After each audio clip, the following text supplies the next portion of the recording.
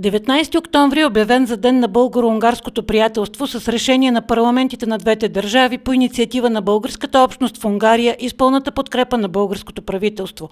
По този повод днес пред паметника на Ласло Наги пред градската библиотека в Смолян се събраха общественици, ученици, граждани. 19 октомври е и празника на свети Иван Рилски чудотворец, чието мощи известно време са се съхранявали в Унгария.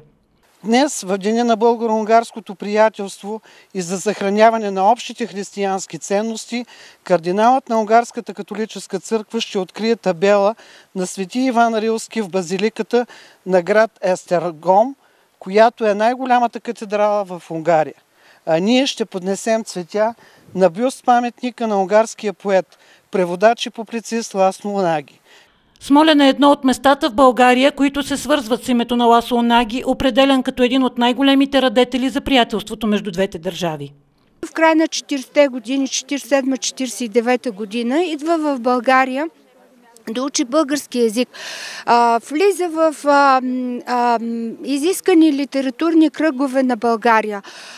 Научава добре български. Влюбва се в България като държава и като близък до Унгария менталитет и народопсихология. Това, което той остава на поколенията, защото много скоро се отива от този свят, е невероятно голямо количество преведени песни от на български народни песни от български на унгарски.